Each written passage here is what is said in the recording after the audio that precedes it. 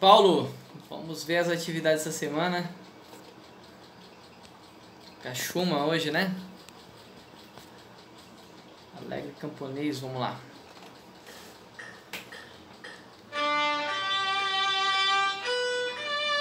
Boa. Deixa eu baixar pra ver seu vibrato.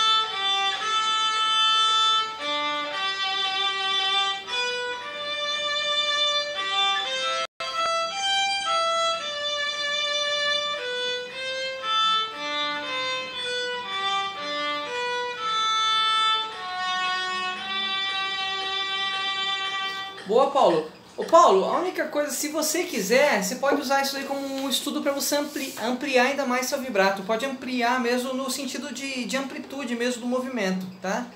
É, estudar aquele vibrato bem uau, uau, uau, uau, você pode trabalhar.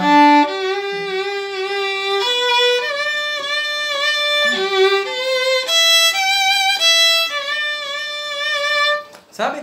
Trabalhar, pode fazer primeiramente o vibrato de braço, deixa eu mostrar aqui.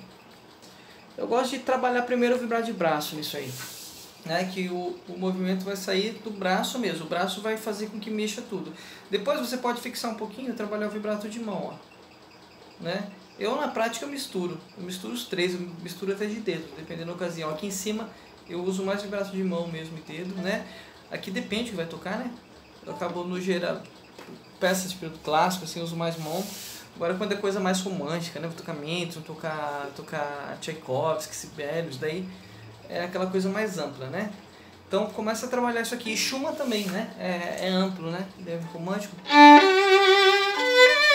Aqui é hora de tremer mesmo. Então você pode trabalhar... Aproveita e deixa... Seu vibrato tá bonito, viu? Tá lindo e tá super funcional no contexto musical. Isso eu tô deixando como opção.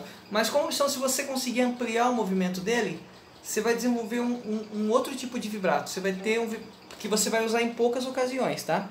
É, mas é legal você deixar seu braço mais solto também, para você. Você tem um vibrato de mão muito bonito, né? Agora você poderia ter o de, de braço também como um recurso a mais, tá? Geralmente o vibrato de mão é mais difícil do que o vibrato de braço, tá? É mais difícil. É, o mais difícil você já faz, né? Mas tem que fazer mais fácil, né? Deixar bem amplo mesmo. Pode ver o uau, uau, uau, uau, uau. Depois você vai aumentando uau, uau, uau, uau, uau, né? Até ficar imperceptível, ó.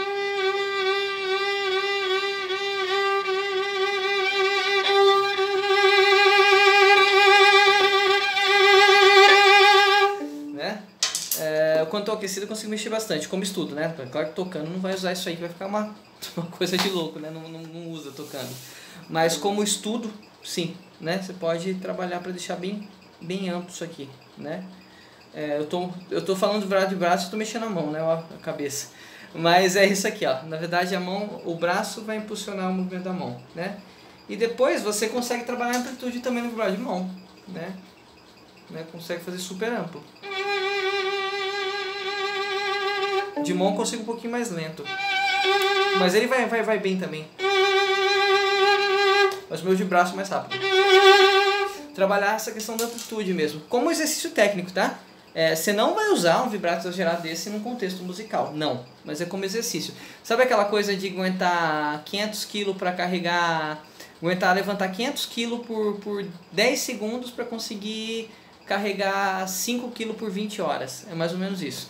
Então você vai fazer muito mais do que você vai usar para quando você estiver to tocando no contexto musical ser tranquilo. Mas já está lindo o seu vibrato, por isso que eu digo só como, como recurso mesmo, tá? Então você pode tocar uma vez lento por dia, né? Nos próximos 5 dias, como aquecimento, não precisa nem mandar não. Tocando até fora do tempo, viu?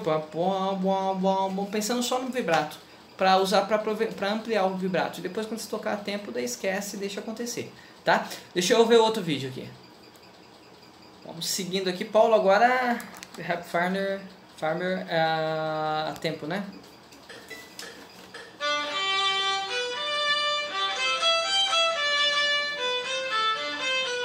Bravo.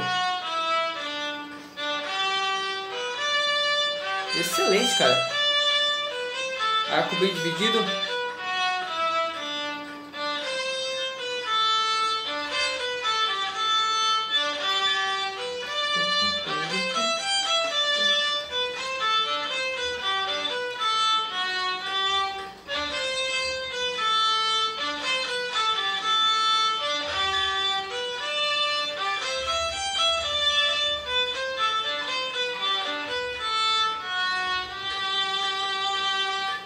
Bravíssimo, bravíssimo, isso aí, tá? Então, tocar lento só com exercício de vibrato se você quiser ampliar agora, né? Senão a gente amplia mais pra frente também, mas tá excelente. E não precisa nem mandar vídeo não, só faz pra você mesmo. Esse foi perfeito, deixa eu ver o próximo vídeo aqui.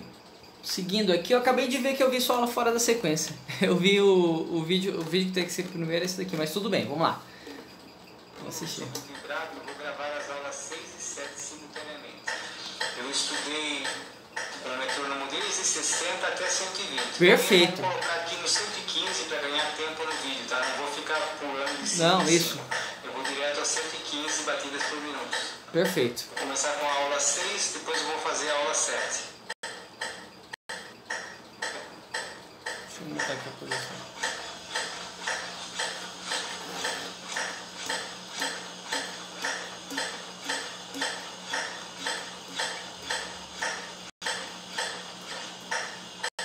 Bravo.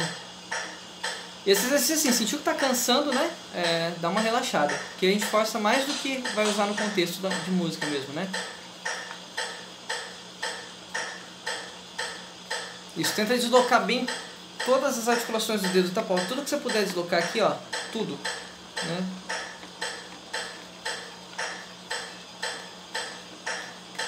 Isso aí.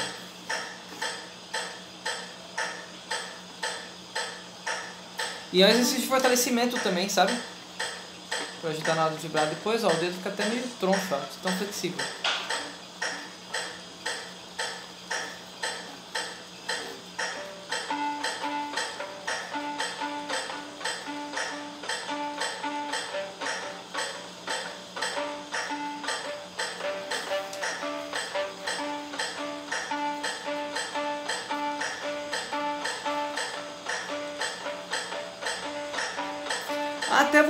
Recomendar um material complementar. O Carmelo fez uma, um aulão de vibrato super legal. Eu vou te mandar o link depois. O Carmelo de Los Santos. Bem legal o material dele. Né, ele fez uma live aí, acho que tem mais de uma, umas duas horas falando sobre vibrato. E tem umas coisas bem legais lá. Algumas coisas dessas que eu passei também.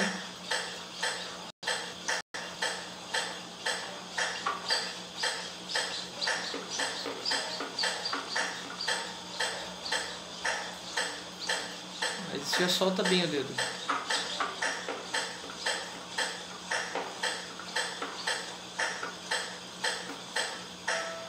E você pode fazer rapidamente, viu, Paulo, antes de tocar, alguns segundinhos cada um. Você vai ver a diferença que vai dar.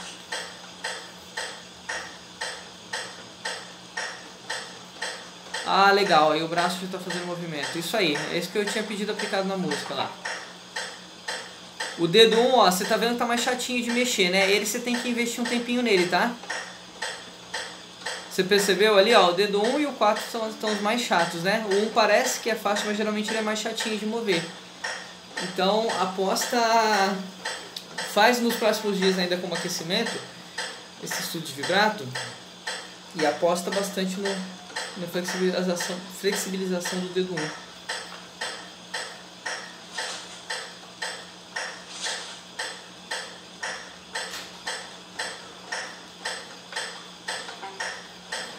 Mas já soltou bastante sua mão, bem legal.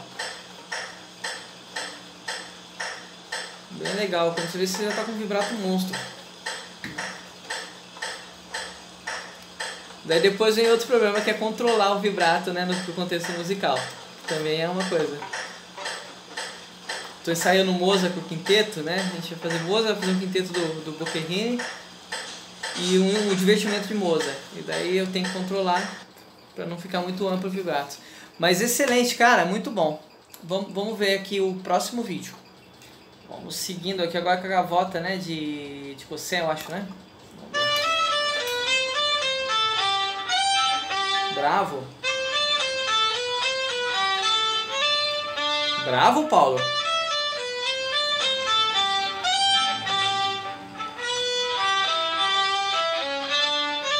E vai aplicando vibrato aí, ó.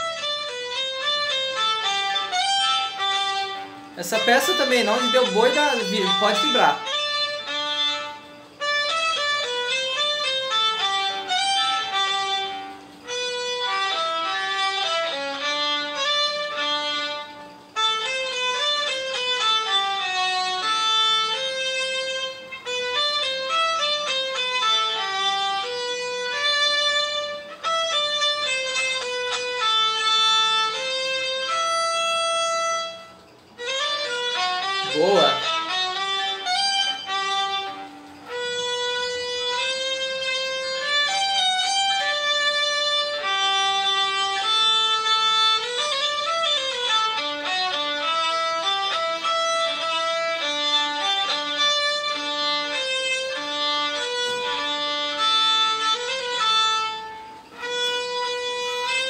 Aí você pode ir crescendo e vibrando mais. Vibrando cada vez mais, sabe?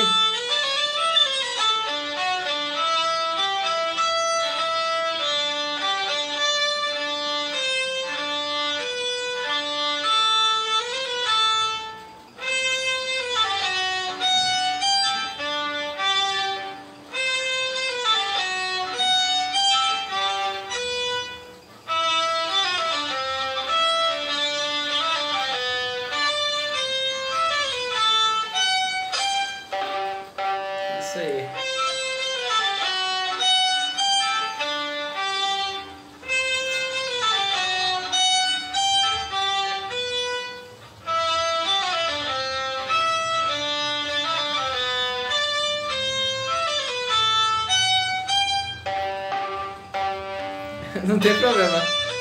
Toca mais dentro do espelho esse psicato que vai te ajudar.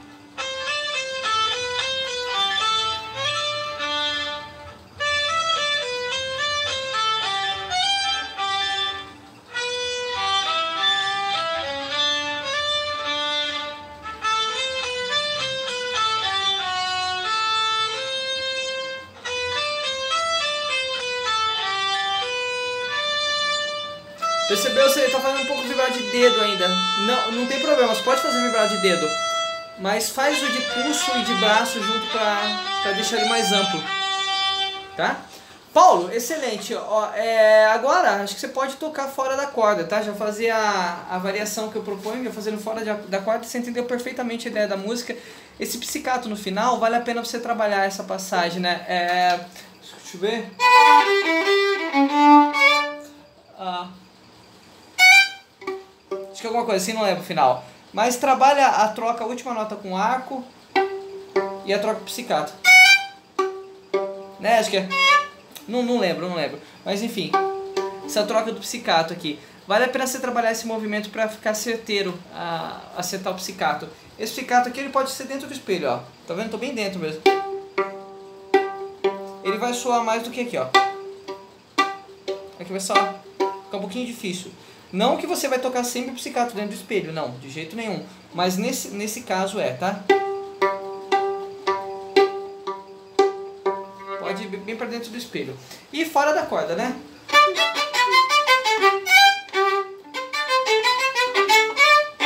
Tá? Tentar vibrar mais. Depois, não vou falar disso hoje, mas tenta observar um pouquinho o seu ângulo do arco. O seu arco ele tá saindo um pouco do ponto, né? Ele quando vem pra cá ele sai, ó. Tentar manter ele mais estável no ponto. Né? Ele mais estável possível. Vai observando isso, mas depois a gente trabalha isso daí com mais calma também, tá? Não vou trabalhar isso já, mas se você puder já ir observando onde der pra você controlar, não deixar sair tanto a angulação, é melhor. que vai ser a próxima etapa técnica que a gente vai trabalhar.